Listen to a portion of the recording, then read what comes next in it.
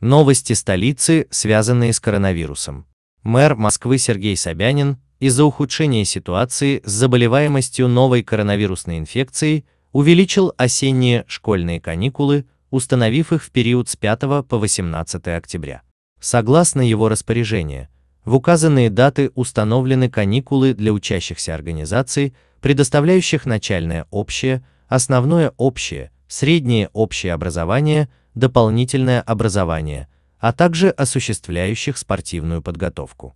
При этом отмечается, что указ распространяется на организации, учредителем которых являются органы исполнительной власти города. Напоминаем, что по прежнему расписанию каникулы должны были продлиться с 7 по 11 октября. В этот период дистанционных занятий не будет, но школьники смогут повторять пройденный и по желанию изучать новый материал с помощью Московской электронной школы. На этот же период приостанавливаются посещения детских досуговых организаций, подведомственных органам исполнительной власти Москвы. Детские сады продолжат работать по обычному графику. Собянин объяснил, что дети составляют значительную часть инфицированных, при этом у многих нет симптомов. Мэр Москвы отметил, что нужно использовать каникулы как возможность снизить динамику заболеваемости и сохранить здоровье. При этом время каникул лучше всего провести в домашних условиях или на даче. Ранее Собянин заявил, что ситуация с коронавирусом в Москве с каждым днем усложняется, как с точки зрения выявляемости больных COVID-19, так и с числом госпитализаций.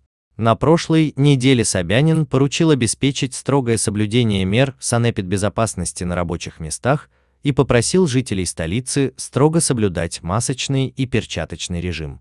Кроме того, Собянин попросил пожилых москвичей и людей с хроническими заболеваниями перейти с 28 сентября в дистанционный формат, либо взять отпуск. Социальные карты москвичей старше 65 лет на время ограничений не заблокируют, заверил мэр города.